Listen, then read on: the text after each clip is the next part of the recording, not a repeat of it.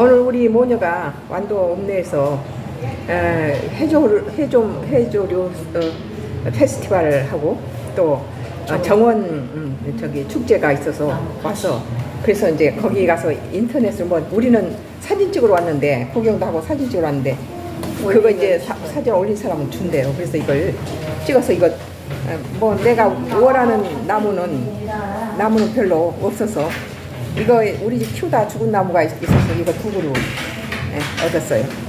아 오늘 와서 여러 가지로 구경 잘했어요. 일본은 넘겨야지 롱이 되지. 아, 아, 여, 저쪽을 돌 봐요. 아니 얼굴을 저쪽을 보세요. 저쪽 저쪽을 완전 예. 이쪽도 보세요.